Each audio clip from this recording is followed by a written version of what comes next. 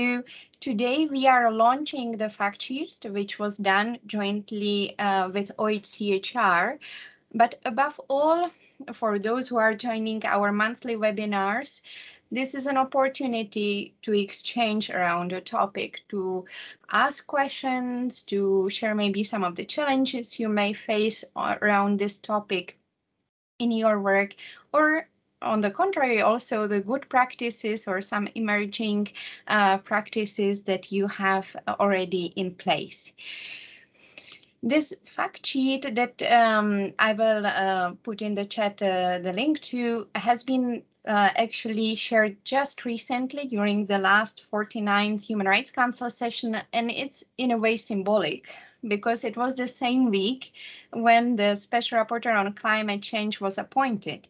So there is a momentum. There is definitely much more attention now.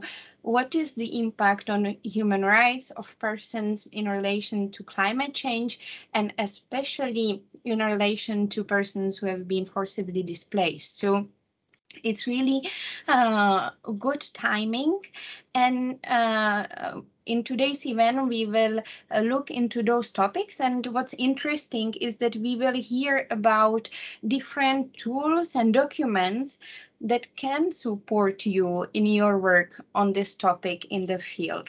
So we will uh, we will hear from uh, various colleagues presenting uh, documents or tools that have been developed and that are complementary and that can maybe inspire you a little bit in terms of what can be done and how to take this forward in practical terms uh, in your fieldwork. So uh, we very much look forward to this event. You already know the ground rules for our exchange, so um, if you can stay on mute, but uh, please do use very actively the chat throughout the event. We will be monitoring it constantly and if you would like then to share anything uh, in live or direct, please raise your hand as well. Uh, we will be monitoring those, of course, very closely as we come to the um, questions and discussion part of, uh, of our webinar. So with that, I will not take more of uh, your time before, and I would like to present you the panelists today. We are uh, very fortunate to have with us today uh, Cecilia Jimenez Damary, who is the Special Rapporteur on the human rights of internally displaced persons. And then, of course, many of you uh, know Cecilia. Uh, we have had many interactions uh, with her uh, in her mandate, and she has been very actively involved in clusters work and um, interactions with, with field colleagues. And we will hear from her about uh, her work uh, on the topic in the opening remarks. Then we will go to the panel and here we will hear from Isabel Michel, who works for UNHCR, who will present us the fact sheet that uh, we are officially launching today, but also mention the different legal frameworks that govern the situation of displaced persons so that we have a bit more clarity. We won't go into details, of course, but Isabel will also point you to various resources that exist and we can take it more in detail than bilaterally if you feel the need. After Isabel, we will hear from Alice Ochsenbein from OHCHR, and she will um, share with us very concrete examples about OHCHR work in the Sahel region, so about projects that are in place, uh, the links between climate change and human rights, and what it means in practice. So this will be very interesting to, to listen to Alice. And uh, we will also have a presentation from Nancy Polutin from the Global Protection Cluster, who will uh, outline the key elements of the Global Protection Cluster's guidance on protection in the context of climate change and how, again, very practically, this can relate to your work. So you see, we try to make it very practical, uh, point you to existing resources or practices that are there. So take today's events as, as really a platform to connect on this topic, to start uh, discussing it and um, guide you through the existing resources that are already there. We will also have an intervener from the floor Meron, who will uh, share with us the information about UNHCR guidance that can be relevant to you if you are a UNHCR colleague, but also uh, an NGO or civil society member. And we will open up for discussion, uh, questions uh, before wrapping up this event. So as you see, a very, very interesting program, we hope. and uh, I see a lot of colleagues are joining from different operations, Uganda, Pretoria, uh, Congo, Chad, uh, Mali, Jordan, Ethiopia. So it's fantastic to see uh, all of you connected, please do uh, continue introducing yourself in the chat. And with that, I think we can start. And I would like to give the floor, please, to the special rapporteur, uh, to Cecilia, to open our event, please. Over to you, Cecilia. Thank you so much, Valerie. Um, and really sincere thanks to the UNHCR for this invitation. But before I give the substance of my opening remarks, I really would like to acknowledge the role that Valerie has undertaken in her fantastic work as the task team co-lead uh, before she takes up your, you know, her, her, her next field assignment with UNHCR. Valerie and I got to know each other very well in close quarters when I undertook my visit to Niger uh, a few years ago. And since then, it's been a very good experience working with her, very professional. So I wish you luck in your next assignment. Having collaborated um, with you, with the GPC, with the clusters, UNHCR together on many occasions at global and field levels in several years, this event and the publications that it will be launching are actually indicative of the dedication of Valerie and you, all of you colleagues, on behalf of both UNHCR and GPC to fostering multi-stakeholder human rights engagement and generating the momentum on important displacement issues. My mandate as a special uh, UN Special Rapporteur on the human rights of internally displaced persons has in fact benefited from these stakeholder efforts and the quality of the engagement of the UNHCR and the GPC teams and human rights champions. The contributions, your contributions to developing, for example, my reports to the United Nations General Assembly and the UN uh, Human Rights Council has been most valuable, as well as the dissemination of those reports and picking up on the recommendations. This is why I very much welcome today's discussion and exchange of experience as these um, as this discussion and exchange speak also to my report very closely to the UN General Assembly in 2020. In, in that year, I presented a report to the GA, which was very much accepted and endorsed and acknowledged by the international community, save one state at the time. And this report was on internal displacement in the context of slow onset adverse effects of climate change. And if you are wondering which state was not very happy with my report, but I can tell you it's the USA or it was the USA. In any case, um, I think now with the change of uh, government, uh, there has been really as well an acknowledgement that the report that I presented to the GA in 2020 was very much um, relevant and still very valuable particularly because of the issues that slow onset adverse effects of climate change and the links that it has to internal displacement are pertinent and valid. Human mobility in the context of slow onset adverse effects of climate change can indeed take many forms. including displacement, migration, and planned relocation. And this may be internal or cross-border. In most cases, movement is not entirely voluntary or forced, but rather falls somewhere on the continuum between the two with different degrees of voluntariness and constraint.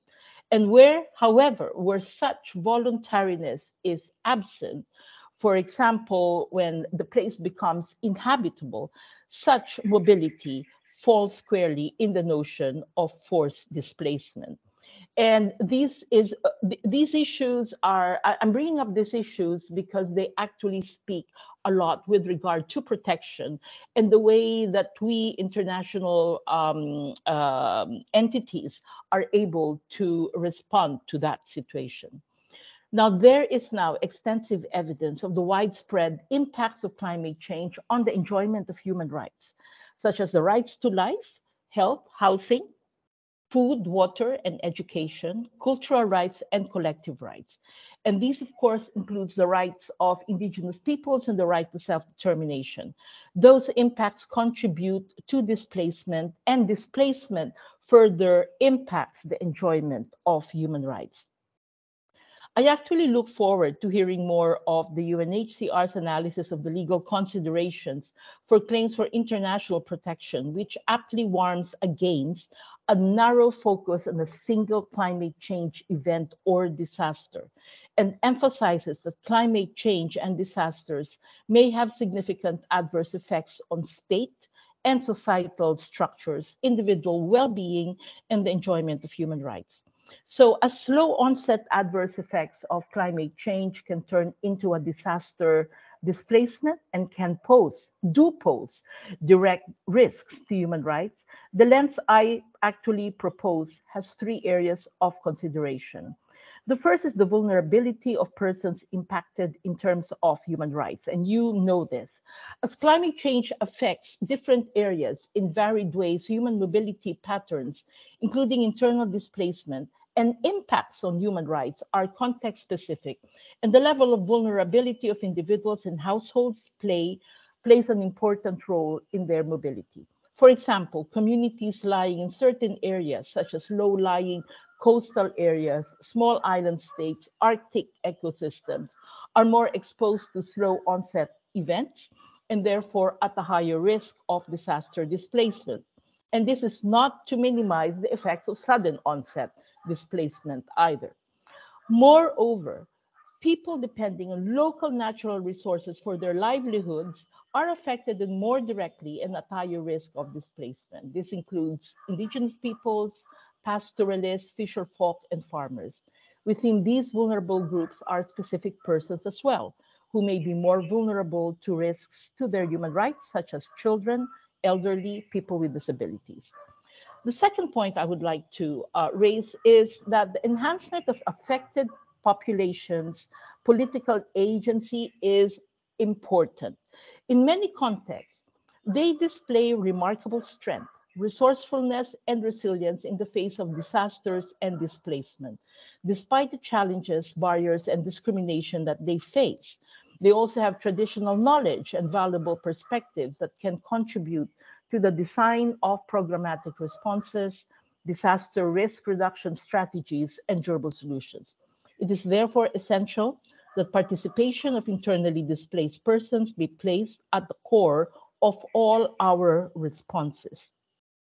The third and last uh, area for due attention is the state's primary responsibility and for its human rights obligations vis-a-vis -vis its populations, and this should be paired with the essentiality of solidarity from other members of the international community, including other states and, of course, UN agencies. This should not be merely in the form of humanitarian assistance complementary to the state, but likewise in their own implementation of its own protective and, and due diligence standards under international conventions such as the Paris Agreement. I very as I said, I very much welcome this event and also uh, the appointment of a new special rapporteur on climate change um, who had just been appointed um, uh, recently. And he is from Tuvalu. And actually, I look very much look forward to, to meeting him uh, when uh, during the annual uh, special rapporteurs meeting we will be having in June in uh, Geneva. And um, and during the, uh, I recall that during the adoption of the resolution in the UN Human Rights Council, the adoption of that resolution establishing the special rapporteur on climate change, I was participating in a side event where I was asked what will be the relevance of a special rapporteur on climate change when many of us special rapporteurs, not just myself, but for example, migration, um, discrimin uh, racial discrimination, violence against women have actually issued respective reports on climate change. And what I said was that this special rapporteur will really be in the position not only to synthesize all our analysis on the different effects of climate change, but also to collectively put that analysis um, and in, in terms of how they can be strategically implemented by the international community. So um, it will be very important that it will be very important that we actually give our support to the new special rapporteur on on the on climate change because his his, his position his um uh, the issue that he will be taking up is quite you know um, important in the crisis that we are right now facing so I gratefully welcome the complementary perspectives that the panelists bring here today with the underlying experience synthesized and set out in the recent pieces of guidance. Thank you very much again for having me. Thank you, Valerie. Good luck with your new position. And I look forward to continuing the work with you and as well with everybody else in the UNHCR, of course, and the GPC. Over to you.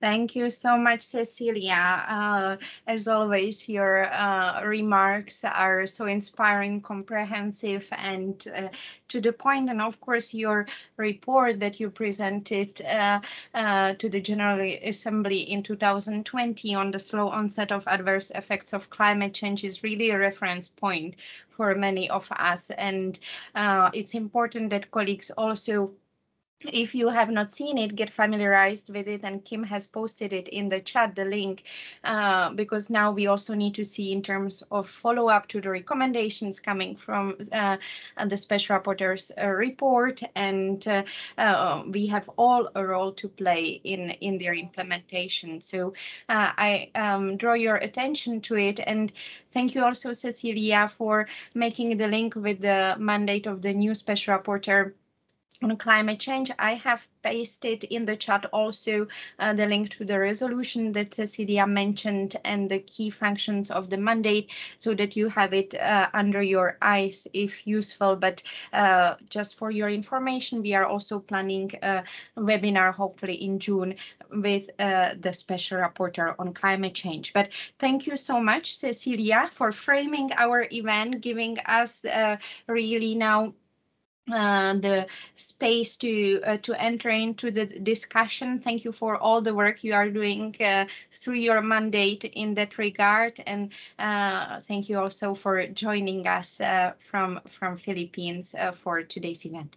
So we will now open the panel, and I would like to give the floor, floor first to Isabel, Isabel Michel, who will present us the fact sheet that has been done jointly with OIT CHR as mentioned, and also give some hints on, on the legal frameworks and share relevant resources. So please, uh, Isabel, over to you. Thank you very much. Hi, everybody. Um, my name is Isabel Michel and I'm working in the Division of International Protection of uh, UNHCR, focusing exclusively on uh, legal and normative aspects for the protection of people displaced in the context of climate change and disasters.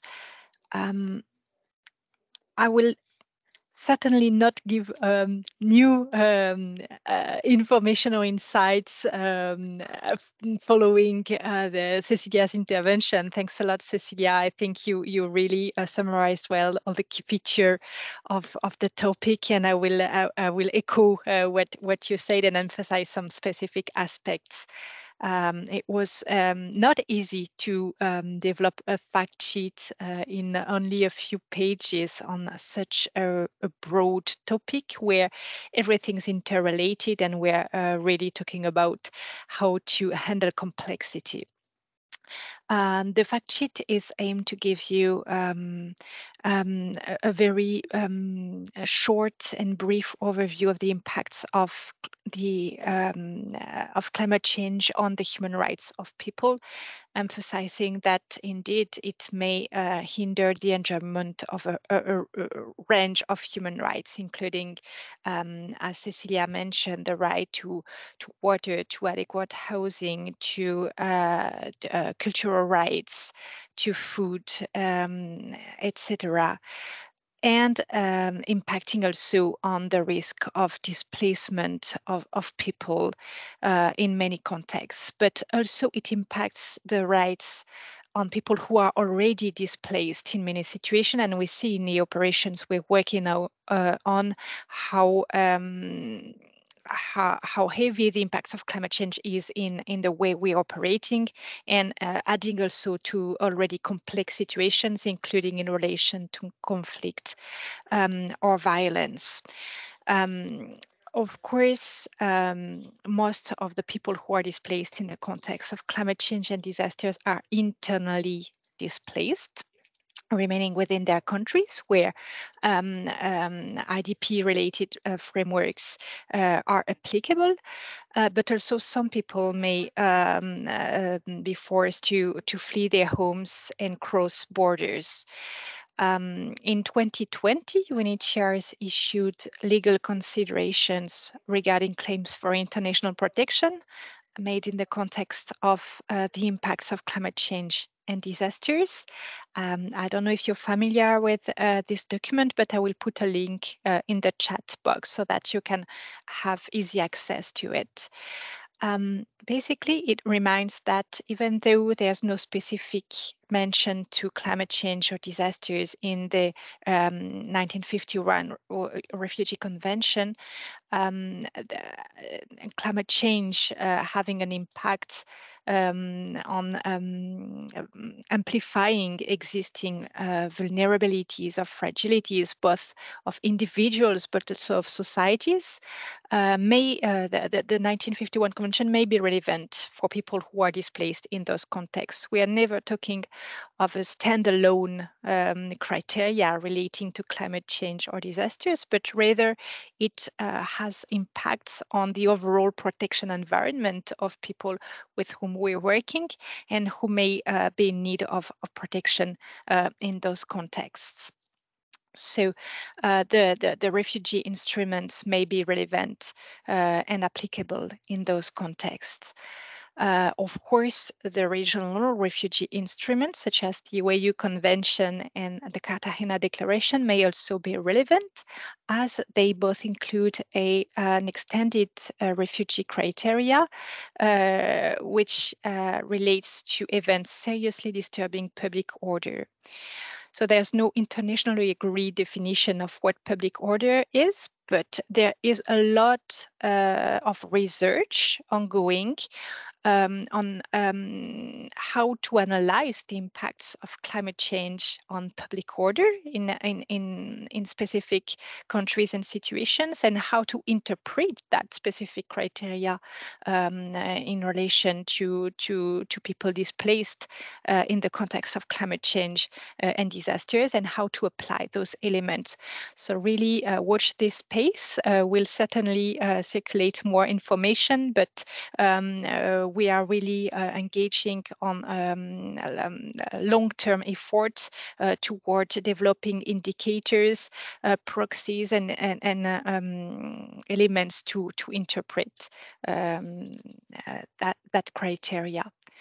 Um, of course, when not all people will be eligible to refugee status when they uh, cross borders in the in that context, and complementary forms of protection are certainly uh, relevant and crucial based on the principle of uh, non-refoulement.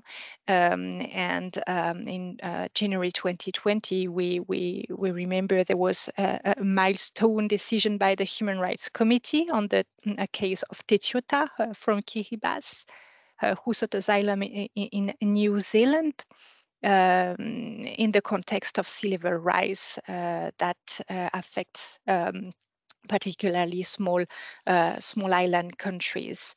And the Human Rights Committee, in its decision, uh, reminded that people should not uh, be returned uh, in countries where, uh, their, where their life would be at uh, at real risk of irreparable harm and also uh, reminded the collective responsibilities of the of, of, countries and the international community to work together to uh, to prevent displacement from from occurring and to mitigate the impacts of climate change altogether. So once again, we're talking about um, uh, the co complex situation where all elements are interrelated uh, and uh, are all different sides of the same uh, same issue issue. And um, um, temporary forms of protection and stay arrangement uh, may also be uh, practical ways of providing protection to people in need where no other uh, um, um, forms of protection would be uh, immediately available uh, mm, to respond to, to immediate protection needs. Um, the fact sheet provides uh, a few um, quick recommendations on how to, pro to protect human rights uh, of persons displaced in the context of climate change. They are certainly not exhaustive, but might provide you with um, uh, hooks to to to to disseminate key messages uh, on this. We know that advocacy, awareness raising uh, on human rights in this context are really um, uh, an element of uh, uh, of engagement of all partners in the field. So these are a few examples of key messages that you you might want to raise and build on. Um, but certainly um, we we we are all working together and partnering in many operations of the world. So happy to to um, uh, build on that and and and work together uh, in joint messages, depending on the events uh, um, where where uh, we are all uh, working and engaging in. Um, and the fact sheet uh, in the last part gives a few examples of, of good practices um, um, where uh, UNHCR and OHCHR uh, worked on addressing human rights uh, related issues in the context of climate change and disasters. Uh, what I would like to um, raise uh, once again is that all these aspects and components are interrelated. We see that, as Cecilia mentioned, it, it's a continuum uh, of mobility, and we need to address uh, uh, all uh, all needs wherever uh, they are, uh, but they all feed into each other uh, internal displacement, migration as a way of preventing displacement, displacement across borders um, are, are, really, um, um, in, there are strong interlinkages between um, those elements as they are on the different components on disaster risk reduction, um, human rights engagement, um, how to address uh, these issues innovation, finance, um, really um, in this area, uh, as in many, many other, but may, maybe even more uh, than in others, it's about a collective uh, effort and responsibility uh, to avert, minimize, and address um, displacement in, in, in this context and related protection needs. Um, in 2018, UNHCR issued in the frame of the task force uh, on displacement of the Warsaw International Mechanism under the UNEF Convention, uh, Framework Convention on Climate Change, a mapping of existing international and regional guidance and instruments to avert, minimize, and address displacement and to uh, find uh, durable solutions to displacement in the context of climate change and disasters. It is a, a, a very uh, comprehensive list of existing instruments uh, in all these aspects. So it might be also a very um, uh, good reference documents to tap in, uh, also in, uh, in, in the frame of your work in cooperation with, with governments or other actors. don't hesitate to refer to that. I will also put a link in the chat box in case it is useful. Um, my last point is about um, our um, um cooperation also and um, work um, in a complementary manner uh, in headquarters, in the back offices, and in the field between uh, you uh, and, and myself and us uh, at headquarters, um, policy discussions and elements and field experience and issues really work together and feed into each other. So uh, we never hesitate to contact us and to ask if you need guidance, if you need um, uh, insights to structure your thinking, to complement, to check that um, uh, the, the, the, key messages are, are, are audible uh, with your uh, um, counterparts. But also, please uh, share with us good practices uh, protection issues, uh, evidence, links that you see between all different aspects. We will use uh, them. Um, there are many um, policy discussions everywhere, and we need to know what's happening in the field to ensure that we, uh, the policy guidance uh, and, and, strategies actually reflect uh, the actual protection needs and operational constraints also that uh, you are encountering in the field. Um, I think I will leave it here, but uh, thanks a lot for your attention and remaining um, at your disposal in case you have questions. Thanks. Thank you so much, uh, Isabel, for this overview, for first introducing us to the fact sheet. And colleagues, I have posted it in the chat. Uh, you have a link there with the different recommendations Isabel was mentioning and the framework so that you can refer to it, but also for the information that you have uh, outlined to us about the existing initiatives and the mapping and the ongoing work and research. And I'm sure Isabel colleagues would have uh, quite a lot of questions. I see already some coming in the chat from uh, Leonor that we will come back to in the discussions part um, of this webinar. Uh, but uh, it would be super useful, Isabel, if you could please share the resources in the chat. And thank you also for, um, you know, making the link uh, between the uh, displacement continuum, the vulnerability that the climate change may uh, um, bring and exacerbate the situation of displaced persons and also still keeping uh, an eye on the fact that the situation of internally displaced persons and persons who had to flee their country uh, may have different implications as we all know but it's always good uh, to get reminded. And also as you will see in the fact sheet um, uh, there are no grounds for climate refugees uh, as a term but um, Isabel uh, can provide more details uh, as needed in the discussion part. Very good. Thank you so much for framing it for us, Isabel.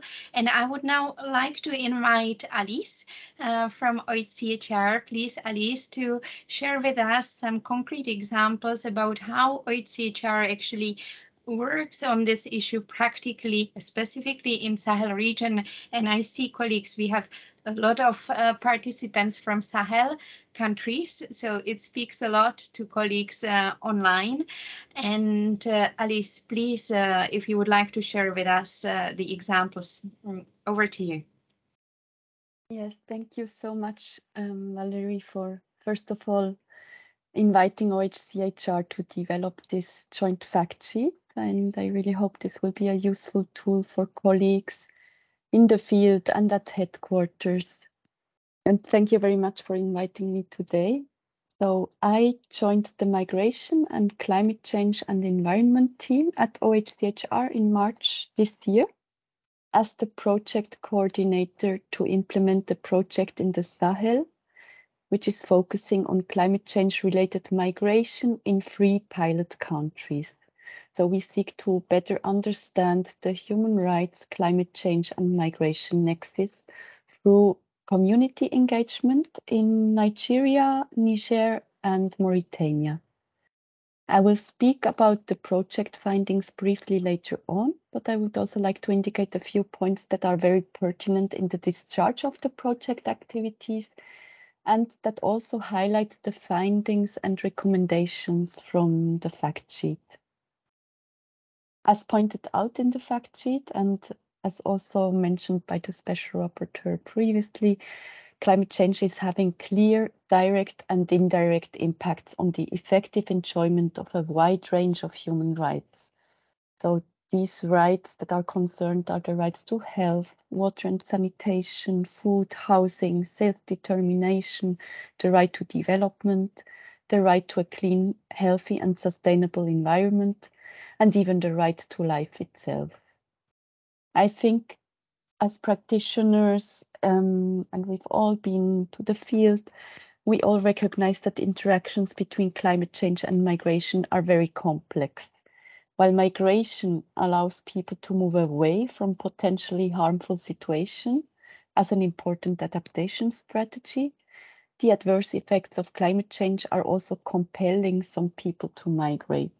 And this may not necessarily be a free choice what we can observe, including from documentation in the project, is that climate change can create or exacerbate situations of vulnerabilities.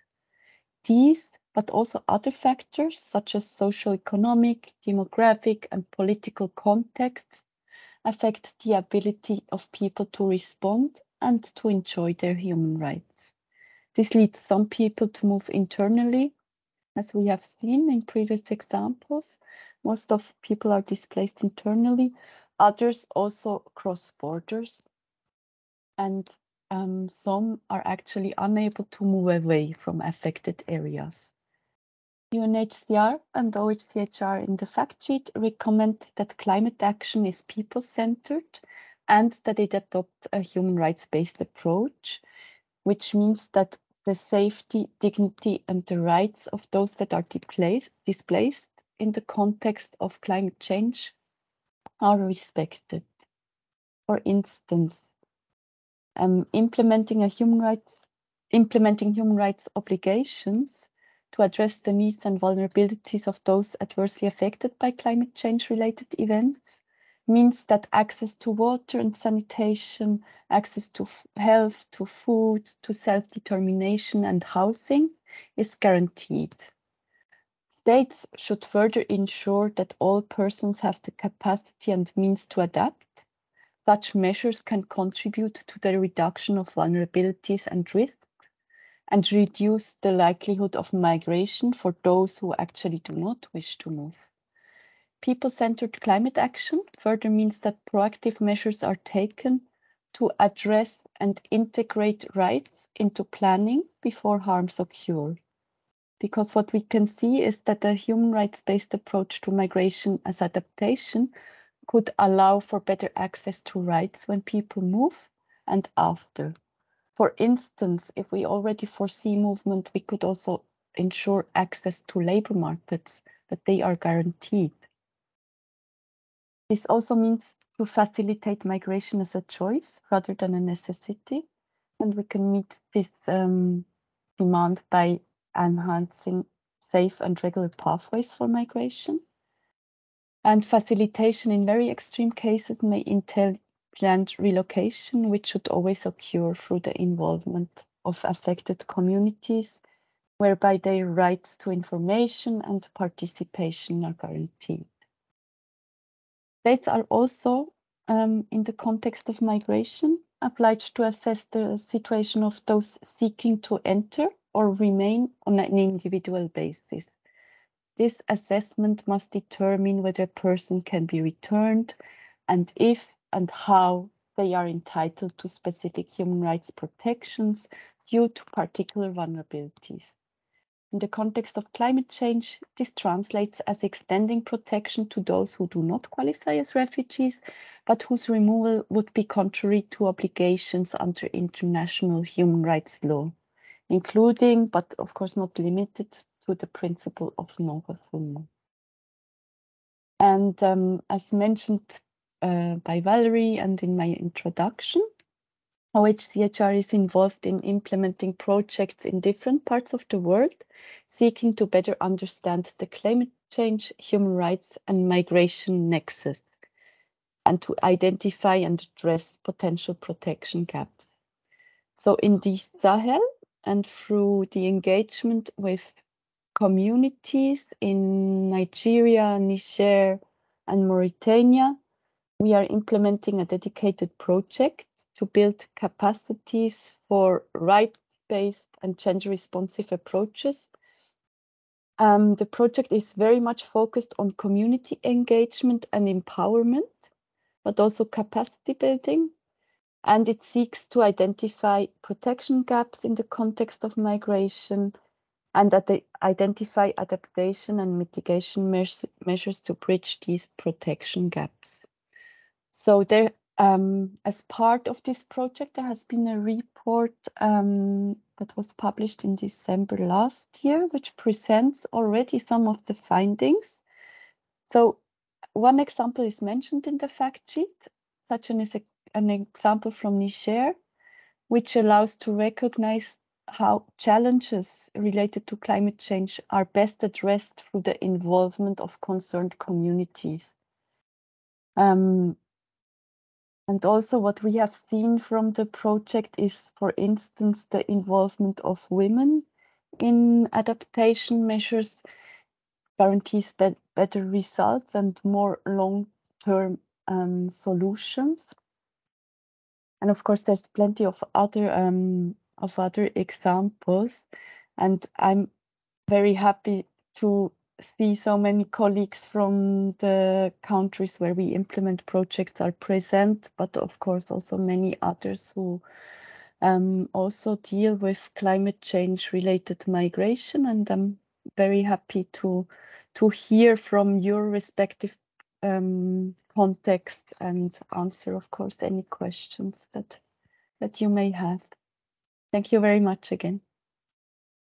Thank you so much, Alice. Uh, this is uh, very interesting and useful, and you have actually, I believe, already responded to Leonora's uh, answer, uh, question in the chat, but we may go more into detail during the discussion part. I have also posted uh, the link to the report that Alice mentioned, but what I found particularly interesting, Alice, is how you interconnected the different uh, um, forms of displacement because of course OHCHR is looking at uh, human rights of all persons. Your uh, mandate is very broad and then uh, you encompass it under migration, but we know that uh, people in different situations face different challenges and it's all interconnected as both uh, Isabel and the special rapporteur were mentioning before. So adding to their already uh, vulnerable situations and we need to pay particular attention also uh, to um, to mitigation measures. And it links to uh, our exchange with uh, colleagues in Mozambique. Just before we started this event uh, uh, with um, Gwen and Hugo uh, when they were sharing that they are basically constantly preparing and, uh, you know, running against the wheel, uh, trying to get ready for the uh, impact of climate change related event on displaced persons. So uh, of course, thank you for sharing the example from uh, Sahel, the three countries, but uh, it impacts most countries uh, where we work. Uh, so thank you so much, Alice. Uh, and I would like to give the floor to Nancy from the Global Protection Cluster who will share with us some key elements about the GPC guidance that was recently issued. And Roberta will put up a few slides on the screen. Uh, Nancy, you are joining us from your mission in Yemen. Thank you so much. Uh, um, the connection seems good, so please over to you, Nancy. Thank you, Valerie, and thanks so much for the invitation to speak about our GPC guidance. I hope everyone can hear me well. Great, thank you. So let me just begin by saying that I think this initiative is excellent. Um, the issue of climate change and displacement has been something that has been uh, an issue uh, for protection clusters um, before I started with GPC two years ago. And uh, we've been asked by our, our colleagues at the field level to, to share over the years um, any guidance, any uh, advice that we could uh, share with them on how to approach both sudden and slow onset uh, natural hazards and disasters. So next slide, please. Thanks.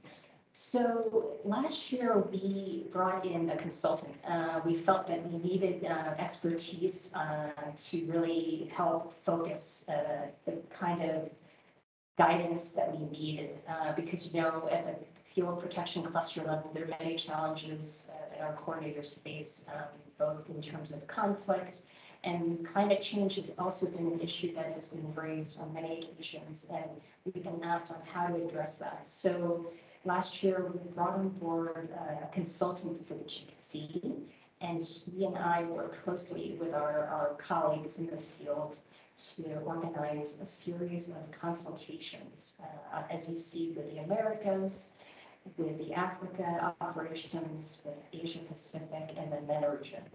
And during the discussions, we actually wanted to frame the guidance in a way that would be practical and, and usable and helpful for our clusters. So as you can see, uh, we held discussions not only with our clusters, but with experts in the field. I see a lot of colleagues online that uh, we've consulted uh, from our INGO partners, the Danish Refugee Council, the Norwegian Refugee Council, to uh, OHCHR, to colleagues from UNICEF and OCHA, um, and our cluster of colleagues really benefited as well um, from our discussions with our consultant about what they would like to see uh, about practical guidance for that.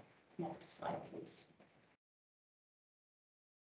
So whenever we have the GPC produce guidance, we always wanted to see how us in the, in the GPC and, and the protection clusters as protection actors, how we are working with our partners on the ground to be able to not only collaborate and bring synergies, but also how do we approach uh, the issue of climate change. It's not something that is always readily understandable by all actors.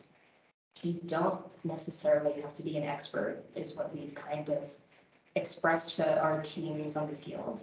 Um, and so for them, they wanted to be able to use simple, clear language um, what does it, what, what does it mean when you talk about natural hazards? What does it mean when you talk about slow onset or sudden onset?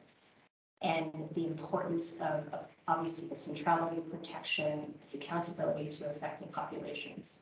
So we wanted to ensure that the terminology of climate change is there, as well as the terminology on protection, on issues of human rights, on issues of uh, protection, so that it would be understandable for all the protection stakeholders that we're working with.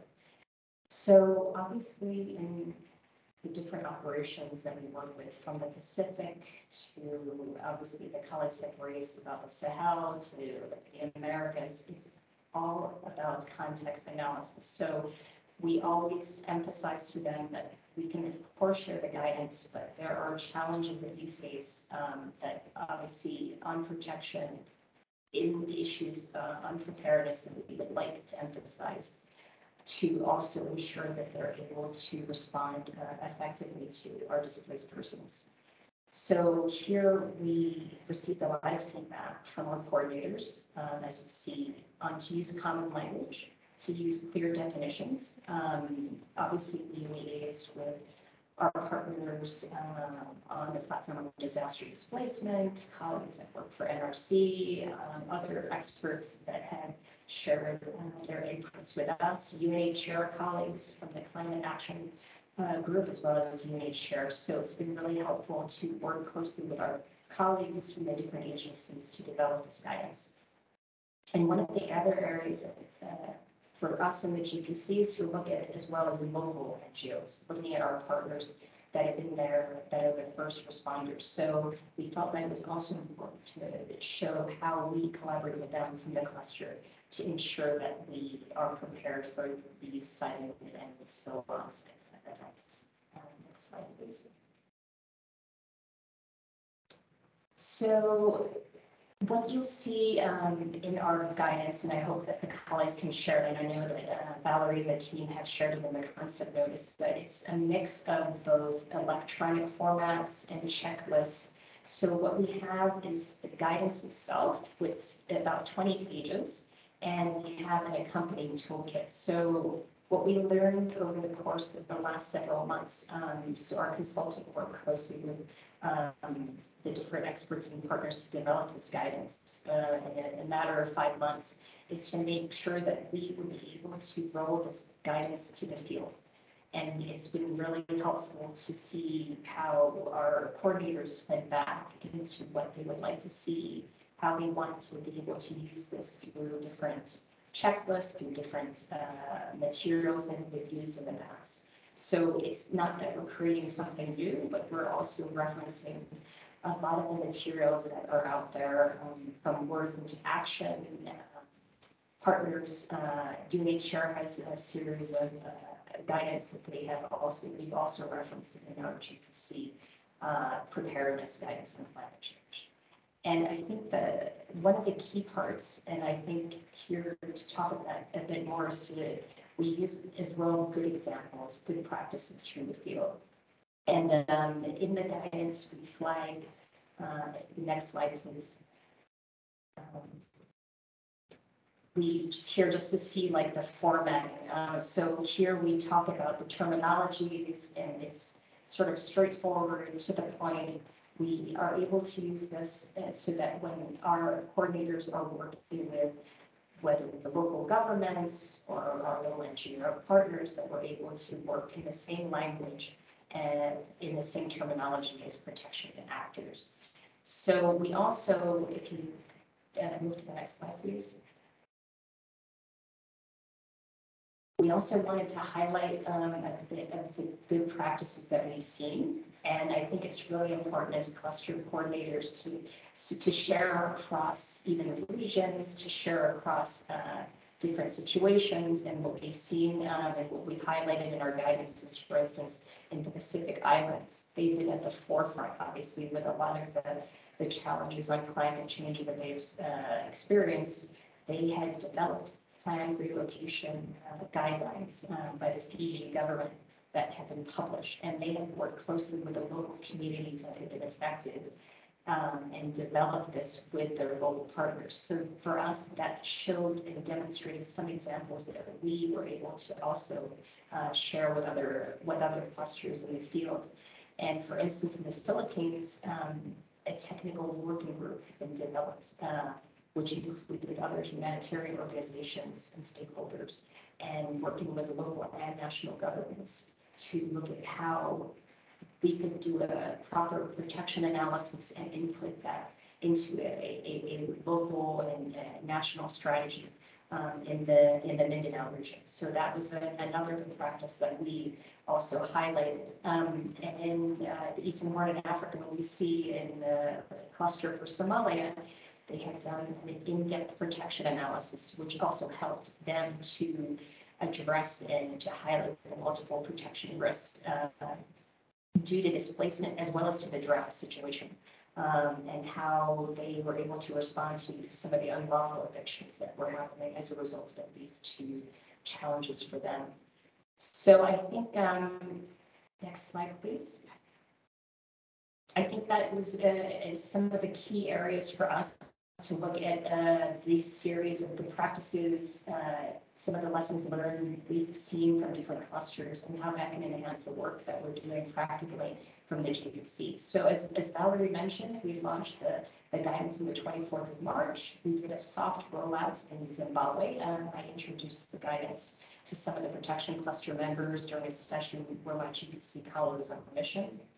And we are in the, in the process of rolling it out in more operations um, and hope to get more feedback from other clusters. And we'll continue from this year into the next in 2023. So thanks. Um, thank you for your time. And over to you, Valerie.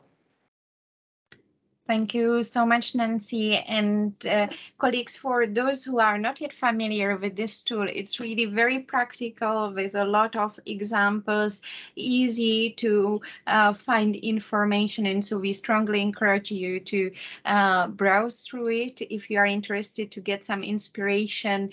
And again, as previously mentioned, don't hesitate to reach out to colleagues if you would like to discuss bilaterally also the situation in your respective cluster or operation so that we can see how to better support. So thank you so much, Nancy. Uh, colleagues, the um, uh, link to the toolkit is uh, or tool uh, guidance is uh, in the chat.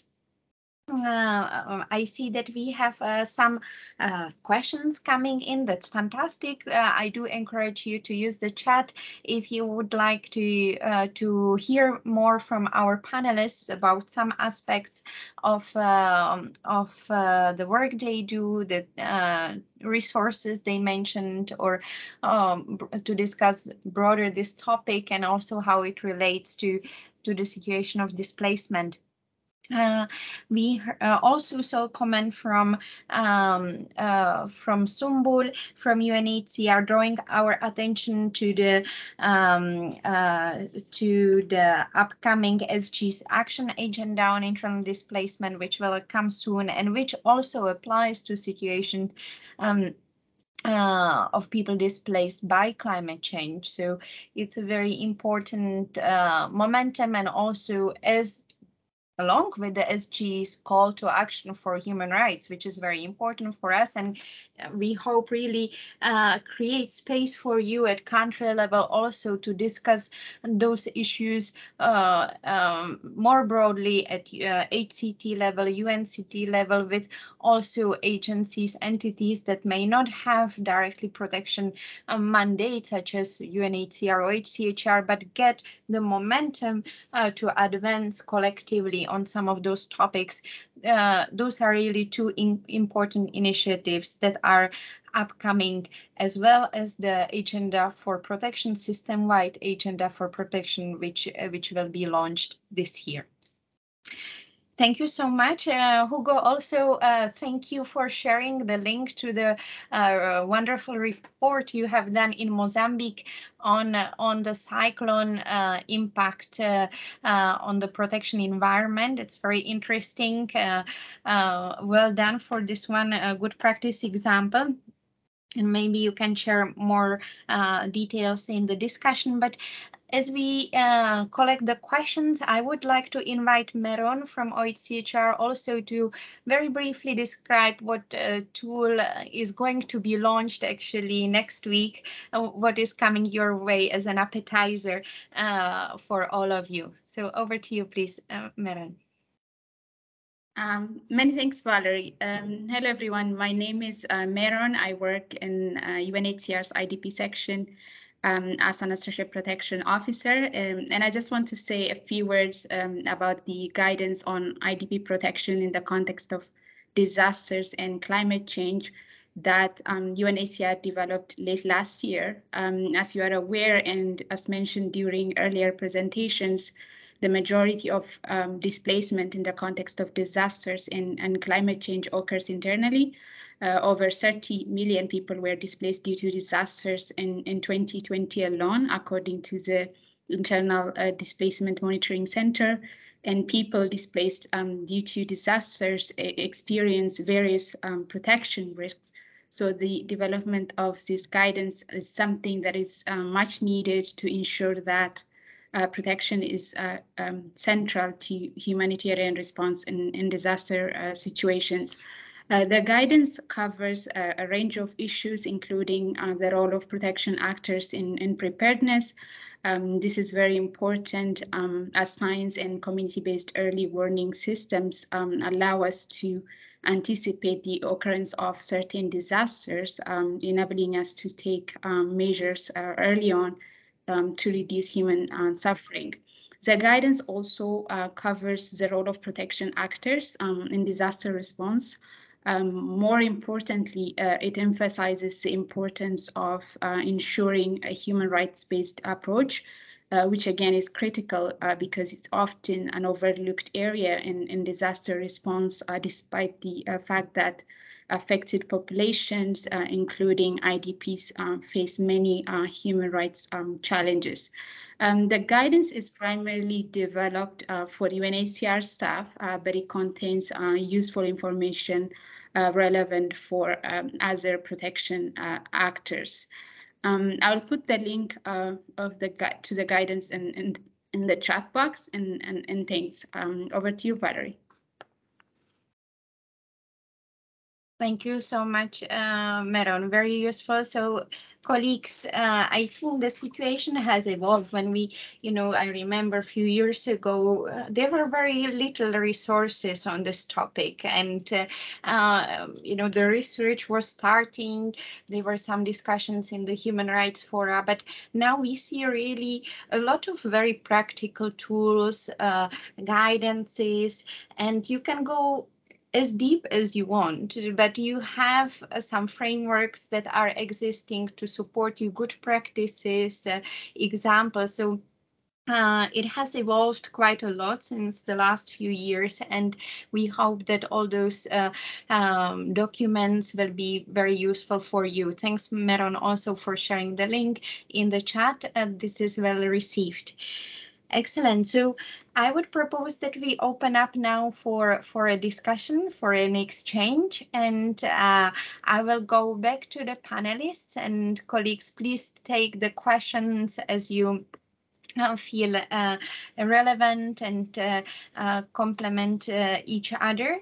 We have received an interesting question from from Shaista in Pakistan who would like to know more if you can already share some good practices or lessons learned on um, uh, how to strengthen the humanitarian development nexus on climate change, um, so including what it entails in terms of uh, uh, coordination, collaboration, funding, um, risks assessment, so uh, covering all the aspects of prevention, mitigation, and response so if you can tackle the aspect of the uh, humanitarian development nexuses, you have some uh, aspects from the climate change angle if there, this has already been done and some good practices or lessons learned are existing. I'm sure, Shaista, your question, of course, coming from Pakistan operation could could be relevant to any, basically any country.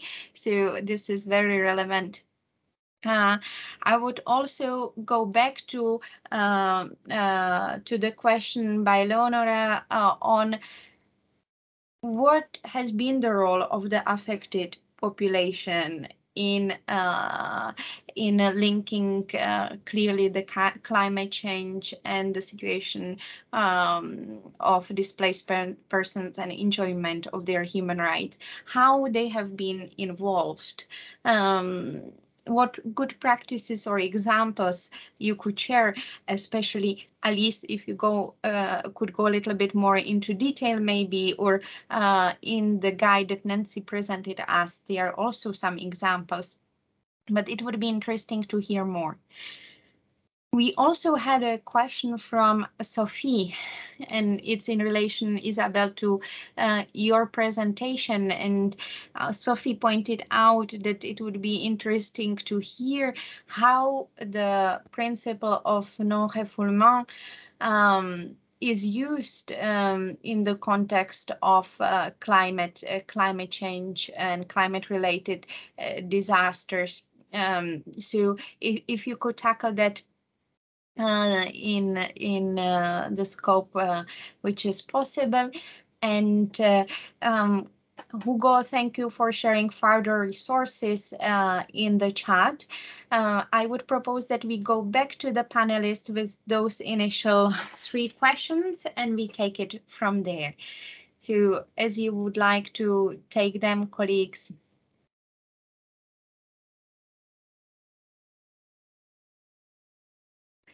Okay, Isabel, would you like to start? And Alice and Nancy? Yes, over to you. Sure, thanks a lot. Uh, and thanks, Sophie, for your question.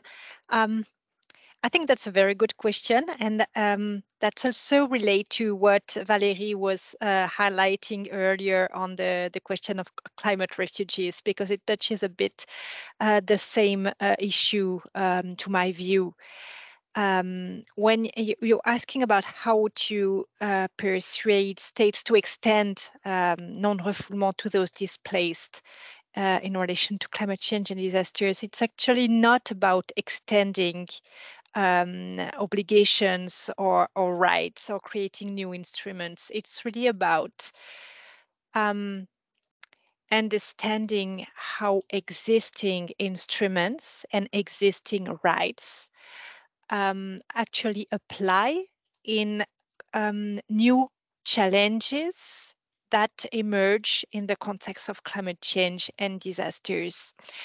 Um, referring to the case of Teitiota and the decision um, from the Human Rights Committee, uh, really the the the um, the, the, the, the, the committee uh, recognized that in the context of uh, sea level rise and of the impacts of uh, of climate change uh, on on on the level of of sea. Um, the um, the, the, impacts of climate change could uh, really um, threaten the right to life uh, of people and could also be um, seen as inhuman or degrading treatment or punishment. And in this specific context, the existing rights and instruments might be applicable and uh, trigger uh, obligation under international law.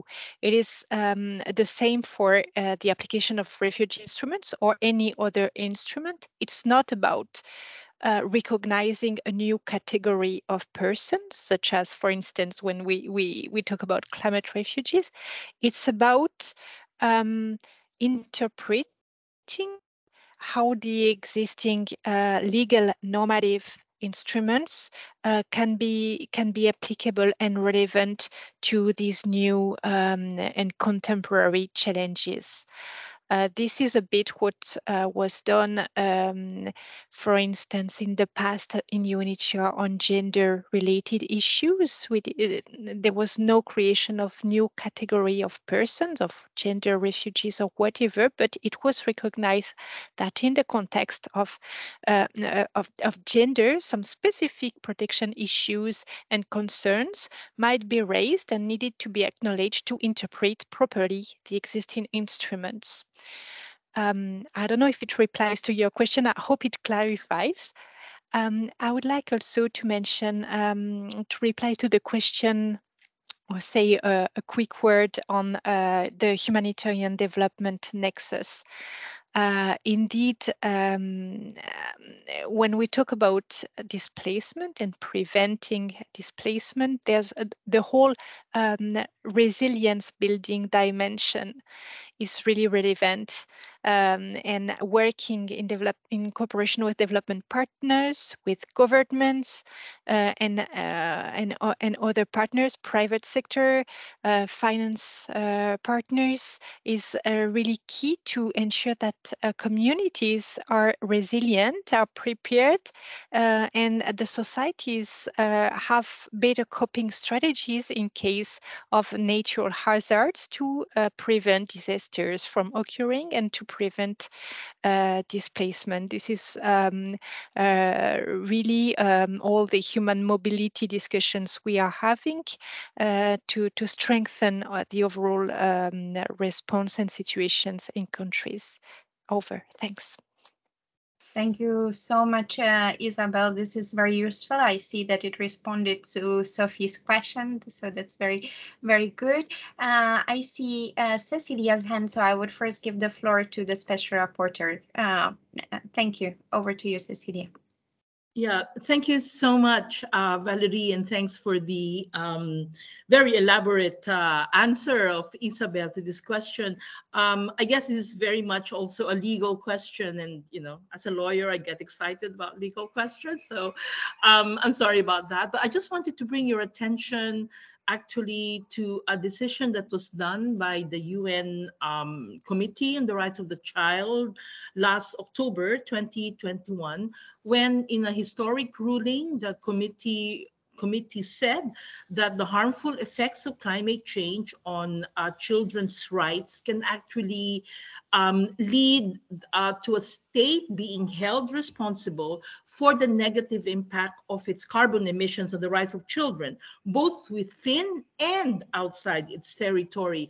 It did, did not rule so much on its protective responsibilities for children, but we can actually use this for any derivative protection um, advocacy because it's um, it's a first such ruling by an international body after examining uh, a petition filed by 16 children, and it found that emitting states are actually responsible for this negative impact of the emissions, even though those children may be located abroad. So this means that um, states may be held uh, accountable uh, for that. Um, as I said, it does not really bear any direct um, accountability yet with regard to movement, migration, or acceptable displacement. However, I think the implications of that ruling um, can be derived in terms of what protection uh, the children may have. So there's a lot of discussion right now among the legal circles on what, what this actually means. And uh, in my view, there is an implication on migration and displacement on this. But anyway, it's just to share with you um, that ruling and my excitement because of that uh, ruling. So thanks very much, Valerie. Thank you so much, Cecilia, for sharing the information about this ruling and uh, also expanding more on Isabel's uh, intervention. And we will be also sharing after this webinar a summary of the resources uh, and uh, also the ruling that Cecilia mentioned so that you can go more into depth uh, in it. But very, very fascinating topic. Thank you so much, uh, Cecilia. So um, Nancy, over to you and then Alice. Thank you. Thanks, Valerie. So I just had a quick comment uh, related to the question on the humanitarian peace development nexus. So it is true that we do devote a, a, a small section uh, on, on this in the guidance, and we do present examples um, because I know that uh, Isabel also mentioned the issue of resilience. And in ours, obviously, we're looking as well, uh, in terms of IDPs, looking as well as enhancing the prospects uh, for solutions. Uh, so we gave two examples uh, that we had heard about uh, through our discussions and consultations. For example, in Tonga, uh, groups that were being considered as very vulnerable, such as the elderly and persons with disabilities, uh, were amongst those who had been severely impacted by the cyclone Gita back in 2018. So the government had looked into this um, and decided to use the existing social protection mechanisms as part of the emergency response, and they targeted both the elderly and uh, the people, the persons with disabilities uh, that were affected. And eventually, their response was to look into cash and voucher assistance um, and other social welfare mechanisms. Um, so in that respect, I thought uh, maybe not applicable to the colleague who's uh, in Pakistan, but perhaps other examples that we share in the guidance might be useful to him. So over to you. Thanks, Valerie. Thank you so much, Nancy, for providing those elements and uh, uh, very important. Uh, I see that we have also a few comments and further questions coming in in the chat. I will take the second round, but first give the floor to Alice and thank you also, Kim, for posting um, uh, the link to the uh, uh, to the uh, CRC uh, link in the chat. Uh, I see that Shaista thank also Nancy that you have provided a lot of answers for her questions. So this has been very useful. Thank you so much again, Nancy. And over to you, Alice. Thank you very much. And also thank you for the question, which evolves around the recommendation to adopt a human rights-based approach to displaced persons. And um, the question actually um, asks us to speak more about how to engage the voices and the views of displaced persons. So I guess what this recommendation entails is to actually always um, come from a rights-based approach where the rights of persons are, are are the most important. And um, what I mentioned be before is that this entails that states create a situation which allow, or other stakeholders as well, which allow to ensure that persons have the capacity and the means to adapt to climate change so that they're not um, that migration is not um, a necessity but that it can actually be a choice and also states can actually take action before harm occurs by pre better preparing um, if things are are clear, such as in slow onset events, rising sea level or, or other um, climate change effects, um, one can better prepare. And I think the special rapporteur mentioned also in her um, introductory remarks the situation of indigenous peoples. Maybe she can add more on this later on.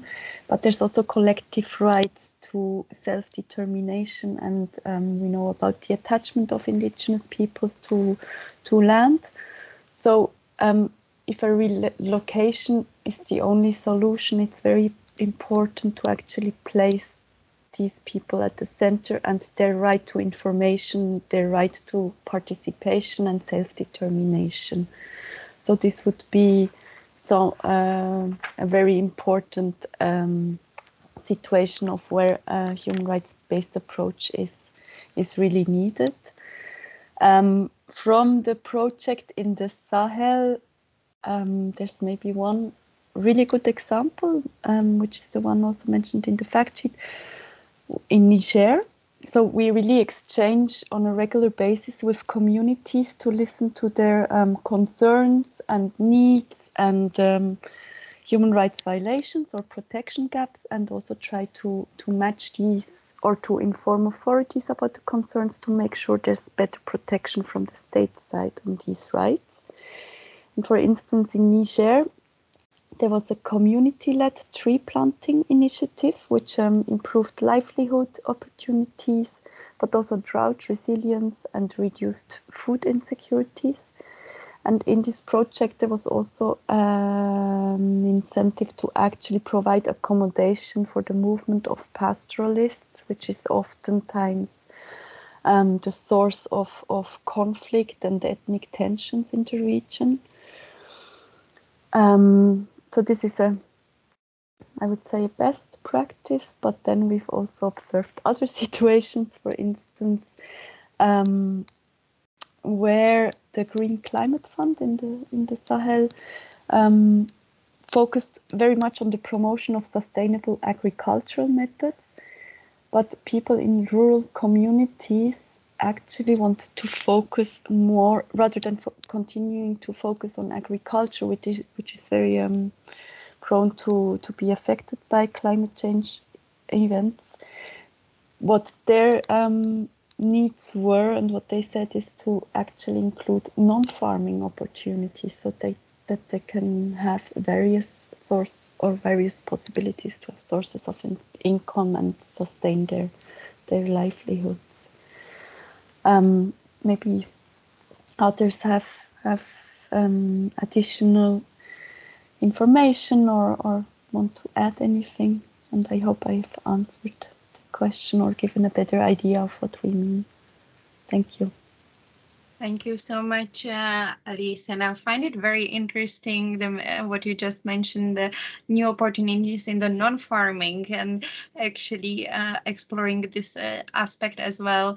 Um, you mentioned other good practices, tree planting and uh, linked to the livelihood opportunities. Uh, um, thank you. And uh, colleagues, I refer you back to the fact sheet to also look at the other practices and uh, the GPC guidance where you can already find some inspiration. But uh, it's interesting to hear from uh, from the field and i would uh, maybe go to the second round of uh, questions if we have few minutes uh, dear panelists if you can shed some light and especially to questions. One um, by uh, jean nicolas from from iraq and um, who is uh, uh, asking about uh, how can we actually ascertain the responsibilities of a specific state or public institutions given that the um, public official or the person acting uh, in an official capacity is an element of the legal obligation when the responsibilities for climate change cannot be necessarily linked to one single state. Unless we speak uh, about uh, an island, of course, as uh, um, we have seen in the past. So very interesting one. It would be great to hear some insight on that. And also a very practical point from Hugo, which uh, is coming from Mozambique, but I'm sure other colleagues, especially clusters, would also uh, maybe share similar challenge. So the difficulties when we are submitting projects to CERF uh, and other humanitarian actors and the lack of acknowledgement that uh, protection activities are uh, an important aspect when uh, dealing with climate change impacts in situations of displacement. And Hugo is asking whether actually there is uh, there are already efforts at global level, especially with donors, in stressing this uh, this link and the importance of investments into those areas, as we discussed, to build the resilience of people and uh, to work in prevention as well uh, uh, mitigations etc so um, noting that so far most of the work is actually done by by the local civil society members ngos which is very good empowering local actors. But in relation to the financial sources and the importance of taking the knowledge that it's beyond uh, water pipes is beyond you know um, uh, shutters, it's the protection aspect is key. It seems to be still lacking there. So I would go back to you with those, those questions. And dear panelists, if you have some quick points or highlights to share with us before we close this event. Um, if you can please raise your hand if you would like to take the floor. Isabel, please uh, get us started.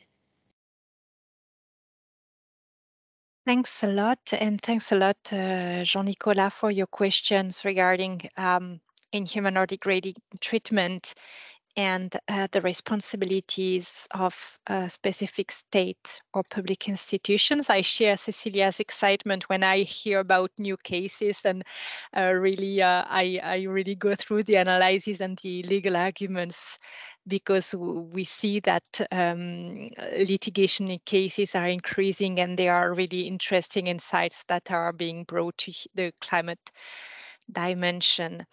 Um, I would like to share with you um, uh, a case that I've read. Um, that's a case from two years ago.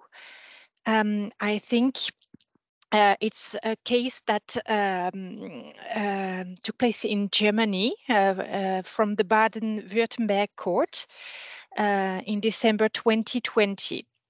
it was about a man from Afghanistan, an adult who was to be deported. And the decision was um, on, on whether to, to deport him back to Afghanistan and um, the court this recalled that uh, in uh, very exceptional individual cases, bad humanitarian conditions can constitute treatment within the meaning of the uh, Article 3 uh, of the European Court on Human Rights um, uh, on the prohibition of torture on inhuman, degrading punishment or treatment, representing non-state dangers to, uh, uh, due to precarious living condition.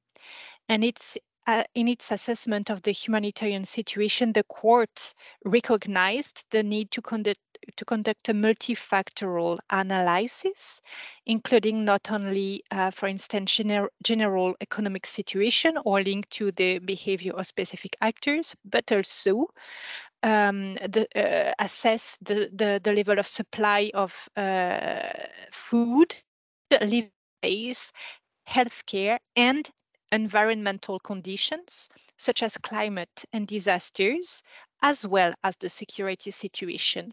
So the climate element was not central to that um, decision, uh, and it was decided not to, to return that man to Afghanistan, but indeed it recognized that um, the, the, the, the, the, overall um, uh, living condition of, uh, of, uh, of the persons, including in relation to environmental conditions, had to be taken into account. I'm very happy to put a link to, to, to that uh, decision in the chat box if it's uh, of interest to you. I would also like to highlight in case uh, you find it interesting that uh, tomorrow um, at six o'clock Geneva time, uh, there's a webinar on disaster-related displacement into Europe, uh, an analysis of judicial practice in Austria and Sweden. That uh, it's a study that uh, uh has been conducted over the last two years, and uh, it finds out that um, subsidiary protection has been granted to people in Austria, in particular in relation to climate change related elements. So I really look forward to that webinar, which is tomorrow uh, six o'clock Geneva time. Uh, if you're interested, uh, I will also put a link um, to that.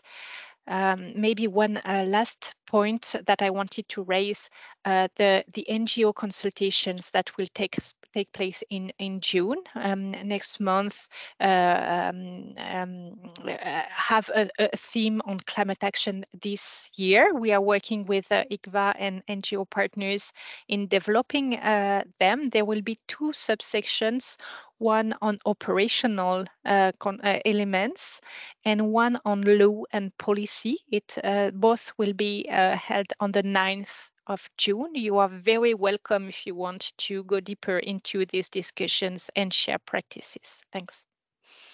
Excellent. Thank you so much, Isabel.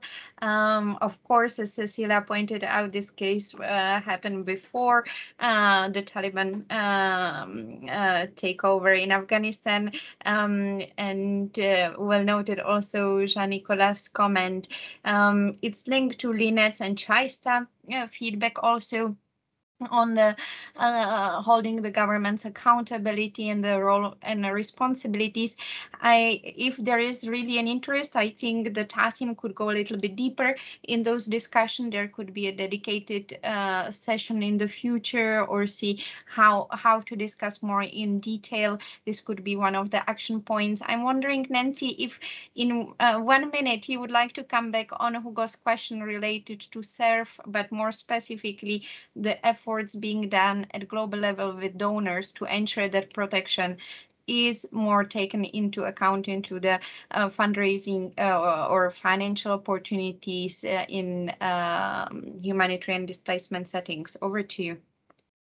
Yeah, thanks, Mallory. I actually didn't want to answer that question because we haven't yet really raised that. Um, and I think it's a very important point from Hugo. I'm in the mess actually in Yemen to looking at the CERF, but on food insecurity at the moment.